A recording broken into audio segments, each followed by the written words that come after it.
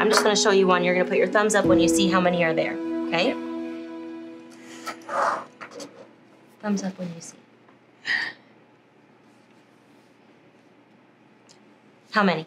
15. 15. Donovan, how'd you see 15? So I did 5 plus 5 equals 10, and and then I did 3 plus 2 equals 5. So you saw all the red ones, 5 and 5 is 10, and then you saw the white ones, 3 and 2 is 5. Okay. Is there another way? Anyone see a double that could help you? A big double?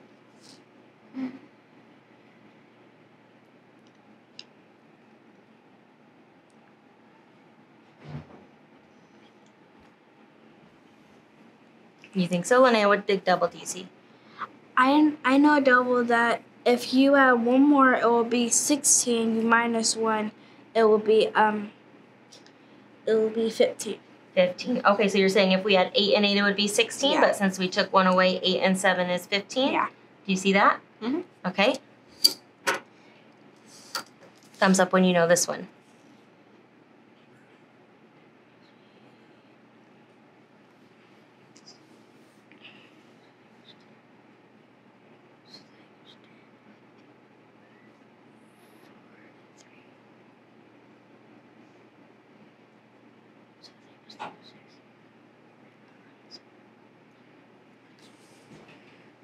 What do you think?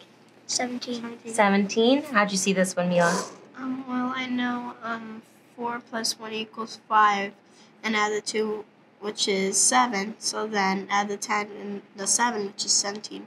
Okay. Did anyone see it different?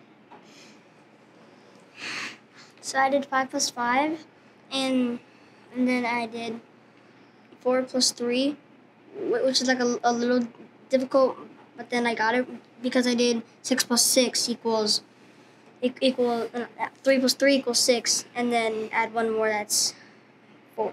Wait, wait, no. Seven, seven. Seven. So you kind of broke this five and five. You broke five and five, and then this three and three plus one more. So that we think kind of think that is like a near double too, don't we? Okay. Do we see a big double that could help us? Linnea? I see. I see if you move one of those, one of the ones to, um, one of the, one of the ones to the, to, eight.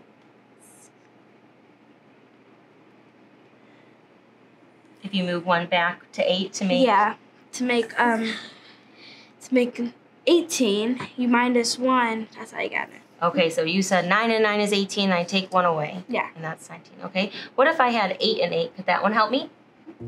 Eight and eight is what? 8 and 8 is What is eight and eight? 16. 16, and I add one more, that's Seventeen. 17.